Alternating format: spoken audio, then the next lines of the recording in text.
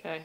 This wasn't too serious either. The summer heat was sizzling as the red and yellow Lifesavers caps came off at the third annual Mr. Kawana competition. Eight contestants lined up to entertain the crowds and also raise some money for new equipment for the Kawana Surf Lifesaving Club. There's no doubt these boys know how to party. A fun personality was needed for this competition. The search was on for Mr. Kawana 2012. The judges knew exactly what they were looking for.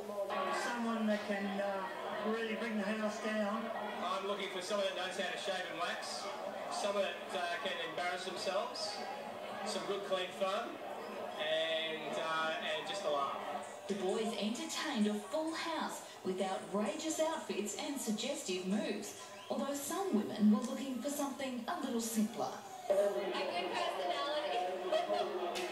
Ben McCauley was crowned the winner of the night. Next one ticket, you really come down to Lifesavers tonight and everyone enjoy themselves, get to the bar.